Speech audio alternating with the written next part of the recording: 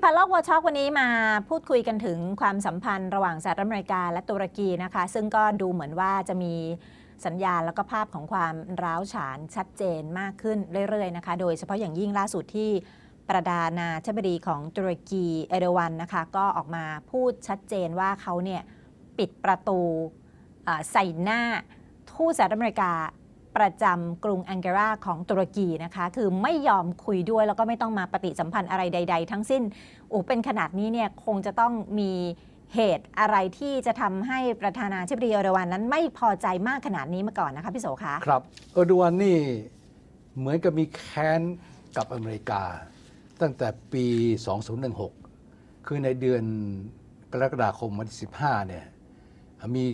ความพยายามจะรัฐประหารเออร์โดวัน แล้วเออร์โดวันนี่ได้รับเสียงกระซิบจากปูตินว่าระวังให้ดีว่าอเมริกาอยู่เบื้องหลังความพยายามการรัฐประหารนั้น เพราะว่าอเมริกามีฐานทัพอยู่ในตุรกีใช่ไหมครับ แล้วก็กองทัพของอเมริกันนั่นแหละไปอีอ๋อกับฝ่ายที่ต่อต้านเออร์โดวันเออร์โดวันนี่ถือว่าเป็นจะว่าเป็นเผด็จการก็ว่าได้ และเขาเคยแก้ไขรัฐธรรมนูญเพื่อให้อำนาจเขาเต็มที่ในการจัดการปัญหากับประเทศเนี่ย ตุรกีเป็นประเทศสองทวีป คือเอเชียกับยุโรปใช่ไหมครับข้ามไอช่องแคบบอสฟอรัสอิสตันบูลอยู่ฝั่งยุโรป แต่ที่เหลือก็อยู่ฝั่งเอเชียนะคือตอนที่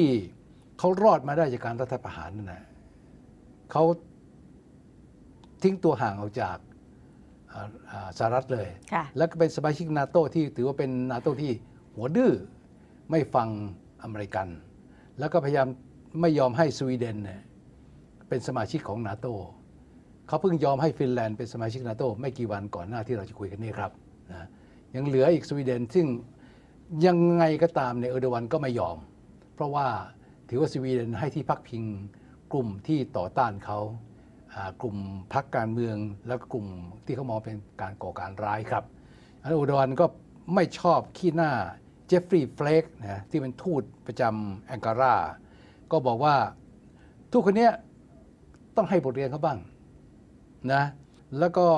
เรื่องนี้มันเป็นเรื่องที่สำคัญ เพราะว่าเออร์ดวันนี่จะจะเข้าสู่ศึกเลือกตั้งวันที่ 14 เดือนพฤษภาคมก็คือเดือนหน้านี่แหละแล้วก็ทางฝ่ายคู่แข่งก็พยายามจับกลุ่มจับมือกันเพื่อจะเล่นงานเออร์ดวันคือเอาลงจากอำนาจให้ได้เออร์ดวันก็มีพรรคของเขาชื่อ AK Party นะต้องถือว่าเป็น ความท้าทายอย่างมาก เพราะเพิ่งผ่านจากเหตุการณ์แผ่นดินไหว ซึ่งมีคนเสียชีวิตมากกว่า 50,000 คน รัฐบาลเออร์ดวันก็ถูกตำหนิว่าได้แสดงออกเนี่ยความกระตือรือร้นนี่ช้าเกินไป แล้วก็น้อยเกินไป จนทำให้การช่วยเหลือผู้เสียชีวิตนั่นนะผู้รอดชีวิตน่ะช้าเกินไปครับ อือหือค่ะ แล้วมันมีเหตุอันใดที่ทำให้โอ้โหท่าทีของเอร์โดวันนั้นชัดเจนมากยิ่งขึ้นว่าไม่พอใจ ทูตอเมริกาคนนี้แบบนี้ไหมคะพี่โสคะคือทูตอเมริกาคนนี้เจฟฟรีย์เฟลกเนี่ยไปคุยไปคุยกับหัวหน้าพักฝ่ายค้าน คือพรรค Republican People's Party ชื่อเคมาลคิลิกคิลิกดาโรกรูนะครับ ก็เหมือนกับทูตอเมริกันในประเทศไทย ชอบไปคุยกับเสื้อแดง ทีมเสื้อแดงชอบไปฟังเสื้อแดงปราศรัย ขณะที่รัฐบาลเนี่ยเป็นรัฐบาลที่ไม่ใช่เสื้อแดงอืมนะชอบไปคุยกับฝ่ายค้านกลุ่มนั้นกลุ่มนี้ ซึ่งเขาก็อ้างว่าอยากจะรู้บรรยากาศการเมืองเป็นอย่างไรบ้าง แต่การที่ไปฝักฝ่ายฝ่ายค้านเนี่ยโอเดวันไม่ชอบใจมากนะบอกว่าเฮ้ยคู่สนทนาของอเมริกาคือข้านี่เองเออร์โดวันจะไปคุยคนอื่นไม่ได้ จะไปคุยพักนั่นพักนี่นะไม่ได้ เพราะว่าทูตอเมริกันคนนี้เที่ยวไปคุย กับพักฝ่ายค้านหลาย ๆพักรวมกันไงเหมือนกับไปยุยงให้ว่าให้จับมือกันประสาน แล้วก็จับมือโค่นล้มเออร์โดวันให้ได้อืมคือตอนที่รัฐประหารแล้วก็ไม่สำเร็จนั่นแหละเออร์โดนกวาดล้างอ่าหลาย ๆ คนนะรวมทั้งจับอ่าประชาชนทั้งหมดเลยนะ77,000 คนนะ แล้วก็ประมาณแสนหกหมื่นคนถูกไล่จากงาน ทหารเนี่ยหมื่นคนถูกดำเนินคดีเอ่อ ตุลาการ 2,745 คนถูกจับกลุ่มค่ะรวมถึงบรรดาพวกที่ทำงานเกี่ยวกับเรื่องการศึกษา เจ้าหน้าที่การศึกษาอ่าทีมมหาวิทยาลัย อาจารย์สอนหนังสือ เป็นหมื่นหมื่นคนถูกจับออก แล้วตอนนั้นเออร์ดวันกล่าวหาเฟตุลากูเลนน่ะที่อยู่ลี้ภัยอยู่ในอ่าสหรัฐอเมริกาอยู่ในฟิลาเดลเฟียเนี่ยค่ะว่าอยู่เบื้องหลังการรัฐประหารครั้งนี้ แล้วก็ทั้งฝ่าย เออร์ดวันนี่ไม่พอใจมากที่สหรัฐให้ที่พักพิงกับกูเลนเขาเรียกขบวนการเคลื่อนไหวของกูเลนกูเลน movement และอยู่ในฟิลาเดลเฟียมานานแล้ว เออร์ดวันพยายามจะขอตัวให้ให้อเมริกาส่งตัวมา อเมริกาก็แน่นอนย่อมไม่ส่งตัวมา เอาเก็บไว้เลี้ยงไว้ เพื่อเป็นหนามตำเท้าของเออร์ดวันนี่แหละที่ทำให้เขาไม่พอใจตลอดเวลา แล้วก็ที่สำคัญที่สุดคือว่าเออร์ดวันเนี่ยเอ็นเอียงเข้าหารัสเซียชัดเจน เพราะว่าเศรษฐกิจของเขาเนี่ยพึ่งพลังงานจากรัสเซีย พึ่งนักท่องเที่ยวจากรัสเซีย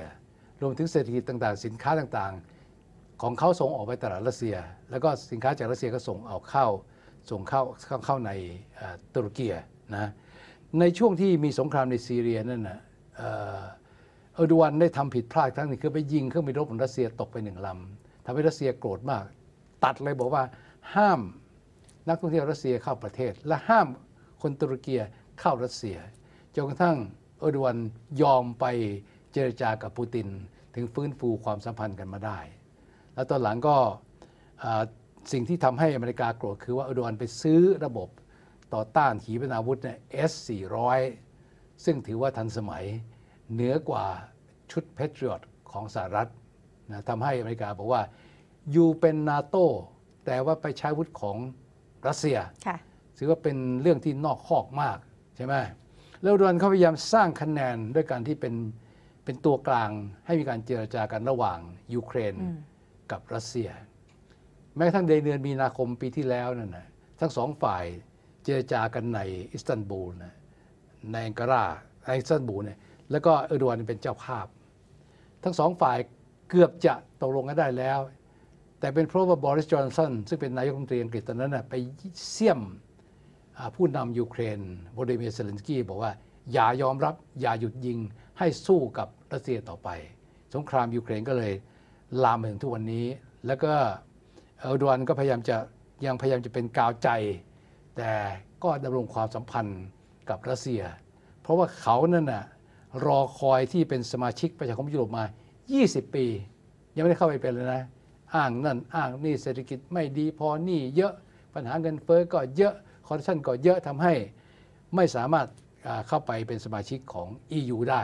แต่เป็นสมาชิกของนาโตได้ครับ อือหือค่ะ ก็เรียกได้ว่าคำพูดของเอเดวันในครั้งนี้นะคะ ก็เกิดขึ้นก่อนที่จะมีการเลือกตั้งทั่วไปไม่ถึง 6 สัปดาห์นะคะ เพราะฉะนั้นถือว่าเป็นช่วงหัวเลี้ยวหัวต่อครั้งสำคัญ ซึ่งตอนนี้เนี่ยเอเดวันเองเนี่ยก็กำลังพยายามที่จะทำคะแนนให้กลับ คืนมาให้ได้ดังเดิม เพราะว่าก็เสียคะแนนไปพอสมควรจากกรณีการรับมือจากเหตุแผ่นดินไหวครั้งใหญ่ที่ตุรกี แล้วก็ทำให้มีผู้เสียชีวิตไปถึงมากกว่า 50,000 คนด้วยกันนะคะ ก็มีบางคนก็มองว่ารัฐบาลหรือว่าผู้นำของตุรกีเนี่ย ไม่สามารถที่จะจัดการกับสถานการณ์ได้อย่างทันท่วงทีการให้ความช่วยเหลืออะไร ก็เป็นไปด้วยความล่าช้าก็เสียคะแนนไปเหมือนกัน เพราะฉะนั้นก็ถือเป็นช่วงจังหวะหัวเลี้ยวหัวต่อนะคะ ที่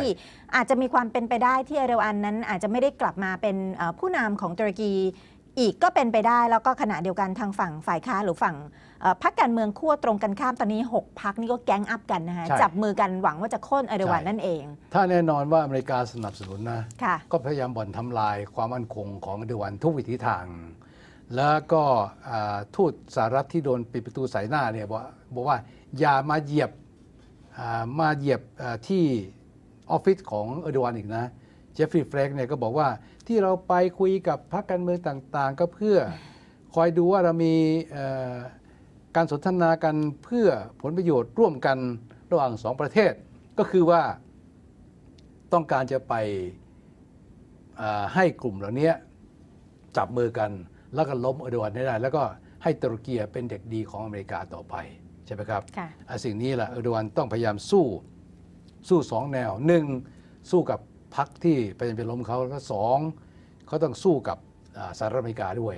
เพราะว่าตอนนี้เขาพยายามจะเสี่ยมทุกอย่างเพื่อล้มเออร์ดวันรวมถึงประชาชนส่วนหนึ่งก็อาจจะไม่พอใจที่เออร์ดวันนั้นนะมีอำนาจมากเกินไป จนจัดได้ว่าเป็นเผด็จการ แต่ต้องไม่ลืมว่าเออร์ดวันเนี่ยสามารถทำให้ตุรกีอยู่ด้วยกันเป็นอย่างมียังเกาะกลุ่มกันอยู่ ไม่แตกแยกหรือเป็นฝักเป็นฝ่าย เหมือนในประเทศอื่นที่มีปัญหาสงครามกลางเมืองครับ ฉะนั้นก็